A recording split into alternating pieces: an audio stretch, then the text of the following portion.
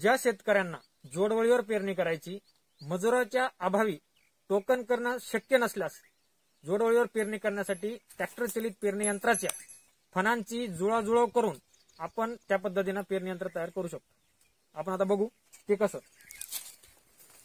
ह्या दोन फणाचं अंतर आपण पंचेचाळीस सेंटीमीटर ठेवलंय. त्यानंतर साठ सेंटीमीटरचा आपण मधात गॅप सोडलाय. परत दोन फणं आपण हे पंचेचाळीस सेंटीमीटरला फिट केले बरोबर आहे? जर तुमची जमीन भारी असेल भारी जमिनीमध्ये इथं तुम्ही सत्तर सेंटीमीटरचा स्पेस सोडायचा. म्हणजे आपलं जोडवळीवर पेरणी करण्यासारखी स्थिती आपल्या पेरणी यंत्राची निर्माण होते. आणि ज्यावेळेस आपलं ट्रॅक्टर पेरत एक तास जाईल आणि रिटर्न येईल रिटर्न येताना काय करायचं? जे हे तास पेरत गेले हे जे आपण तार बांधलाय हा तार ह्या फणापासून ह्या ताराचं अंतर सात सेंटीमीटर ठेवलंय. ज्यावेळेस आपला ट्रॅक्टर रिटर्न येईल चालकाला सांगायचं की जे तास पेरत गेले त्या पेरलेल्या तासावर रिटर्न येताना तो तार येऊ द्यायचा. म्हणजे साठ सेंटीमीटरचा गॅप ऑलरेडी तिकडे पडला. ही झाली जोडवळीवर पेरणी. पाच-